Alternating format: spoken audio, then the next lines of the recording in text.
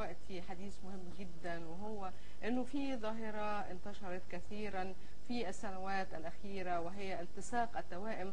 سواء كان هذا الالتصاق من آه، الجمجمة أو بيبقى فيه المخ مشترك بين جمجمتين أو في أجزاء عديدة جدا من الجسم. كانت الحالة الأشهر بالنسبة لمصر هي التوأم منار لأنها كانت توأم لتوأم طفيلي بيطلق عليه طفيلي آه، جمجمة طفيلية أو آه، جنين آخر طفيلي. آه، عليها. الحقيقة آه، طبعا كل وسائل الإعلام العالمية اهتمت بهذا الموضوع وتم استضافة الفريق ال- آه، المعالج في أشهر برامج الولايات المتحدة الأمريكية أوبرا وينفري وقناه Discovery أيضا اشترت هذا ال- آه، السبق العلمي المصري آه، الجميل جدا واللي حصل فيه إعجاز. حول هذا التقرير ويمكن هنشوف تقرير غريب جدا إنه آه تم آه ميلاد جاموسة براسين حول هذا الموضوع وإزاي بيتم انتشار حالات التوائم الملتصق هنشوف التقرير.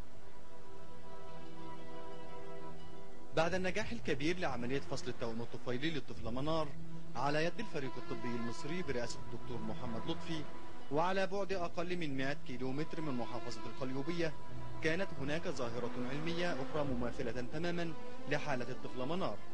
ولكن هذه المرة في عالم الحيوان وهي مولد ماشية برأسين منها رأس طفيلي بإحدى القرى لمحافظة الشرقية لتصبح ظاهرة محل الدراسة والبحث والتي قام بها على الفور فريق طبي مصري من البشريين والبيطريين حيث أكدت الإحصائيات العالمية أن حالات الأجنة التي تحدث في الأبقار والماشية تكاد تكون نادرة للغاية وأنها تحدث نتيجة لعدد من الأسباب الوراثية أو البيئية المحيطة بالكائن.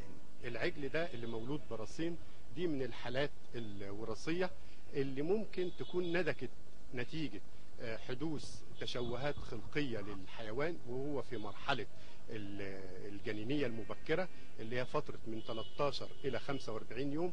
الفترة دي بيحدث فيها تكوين للأجزاء والأجهزة بتاعة جسم الحيوان. وفي نهايتها بتكون اتكونت الأغشية الجنينية. وبالتالي في الفترة دي لو حدث إن الحيوان كل أي مواد سامة أو تعرض لإشعاعات أو تعرض لأي ظروف غير عادية ممكن المواد السامة بتدخل للجنين عن طريق الأم وما بيكونش فيه الفلتر بتاع الأغشية الجنينية وتؤدي إلى ظهور هذه الحالة. الحاجة التانية إن الحالات ديت بتؤدي إلى حدوث خسارة اقتصادية كبيرة نتيجة توارث الصفات الوراثية لو في بعض الحالات اللي هي تتولد بطريقة طبيعية زي الحالة اللي معانا اتولدت بطريقة طبيعية نتيجة وجود الرصين في اتجاهين آه، في في في نفس المستوى. أما بالنسبة لأهمية دراسة هذه الحالة فإن الفريق اللي بيقوم بدراسة هذه الحالة من الزملاء في جراحة المخ والأعصاب وزملاء التشخيص آه، إن إحنا عاوزين نقف على ماهية آه، الحالة وتدريب الأطباء البشريين على التدخل الجراحي لفصل مثل هذه التوائم وقام الفريق الطبي بإجراء عدد من الفحوصات والأشعة منها إجراء أشعة مقطعية ورنين مغناطيسي على الحيوان. والذي ثبت من خلالها أن الحيوان يحتوي على مخين كما أظهرت الأشعة الوضع التشريحي للمخ والأوعية المغذية له والصفات التشريحية لجزئي المخ وكيفية توزيع الأوعية الدموية قبل عملية الفصل أعتقد دي يعني بالنسبة لجمهوريه مصر العربية دي كان أول حالة تم إجراء لها رنين مغناطيسي على المخ في حالة قبل عملية الفصل.